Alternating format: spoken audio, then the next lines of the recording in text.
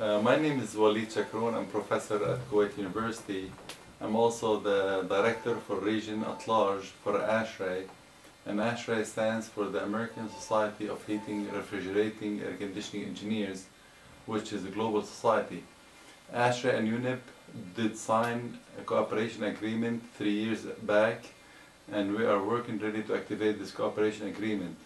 And part of this cooperation agreement is to work on sustainable futures containing building and equipment and systems.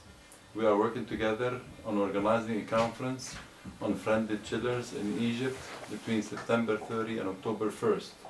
The conference will be of high value and it's a very important conference for the scientific people in the area.